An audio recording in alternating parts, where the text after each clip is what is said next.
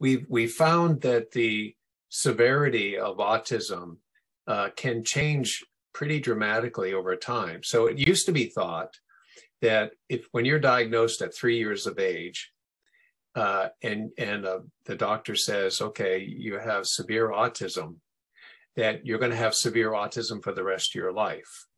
But that's not true.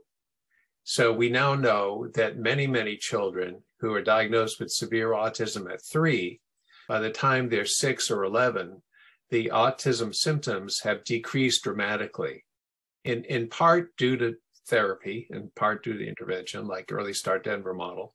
But there's all the things going on as well that, that lead to decrease. Uh, and so we can now say to families that, you know, the initial diagnosis is not necessarily the diagnosis for the rest of this child's life. And, you know, there we're trying to figure out what can be done to increase the probability that they're going to decrease in symptoms over time.